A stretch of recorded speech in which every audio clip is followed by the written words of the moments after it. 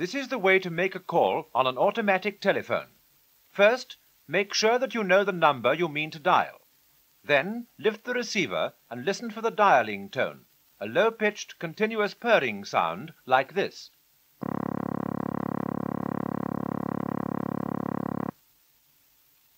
When you hear that tone, but not before, dial the number you want.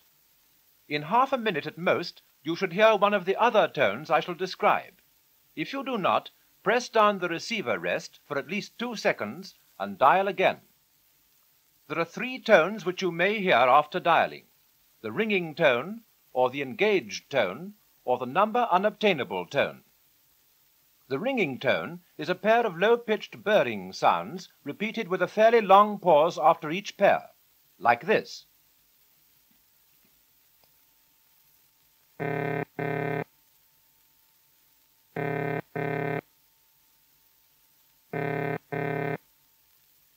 Means that the number you dialed is being rung, but people may not be able to answer at once, so wait at least half a minute before giving up the call.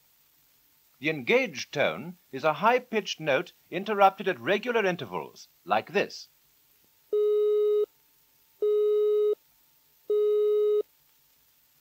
It means that the number you dialed, or some of the machinery on the way to it, is engaged. So put back the receiver and wait two minutes before dialing again.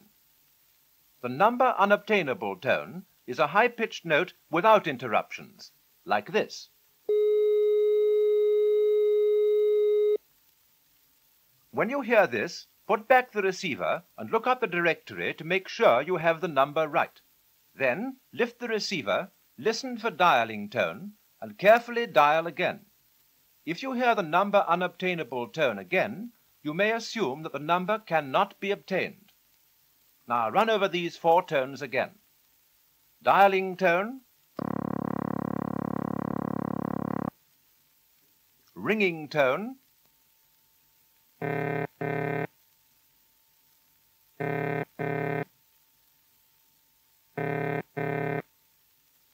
engaged tone,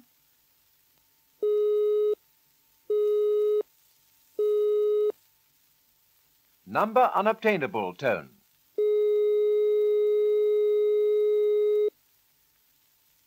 Besides these, a time signal of three sharp pips is given every three minutes on trunk and toll calls to warn you that if you go on, there will be an extra charge. Here it is.